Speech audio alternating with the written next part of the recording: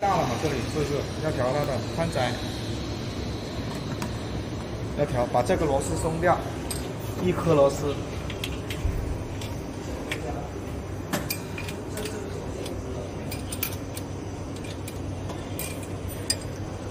松掉以后，把物料往两边调，往小小的话，物料小的话就往往里拉。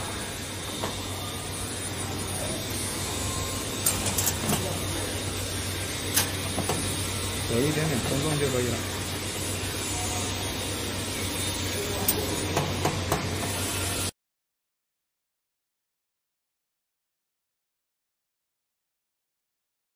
拿过来弯掉是吧？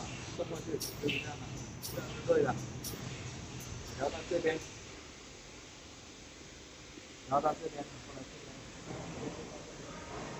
调试的。时候永远都是点动，千万不要启动。因为你不知道哪里没调好。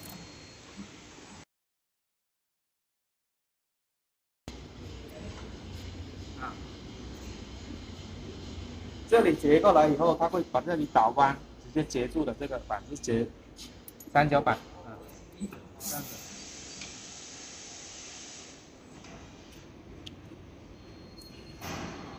当纸壳来到这里的时候，这个。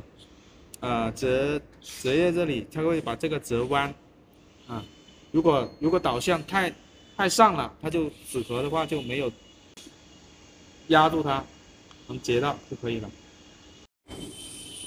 这个太高了，没有折到，我们需要把这个放低，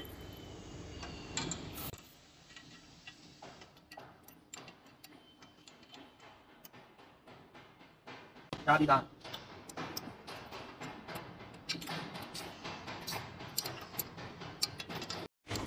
调整完毕以后，我要慢慢点动它，点动，要确保它每一个盒子都折弯。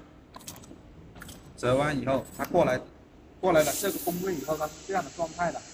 这样的状态，只要我们这个一往前一推，它就能把那个影垫子打进去了。